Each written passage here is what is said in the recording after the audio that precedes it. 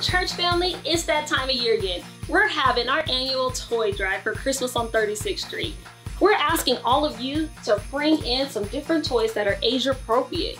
Now, what you can do is from now into December 10th, we're asking you to drop them off at the church office between 9.30 and 4 p.m.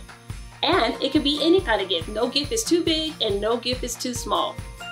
By the way, invite your friends and family out to Christmas on 36th Street, December 11th, starting at 6 p.m. We can't say wait to see you and we love you.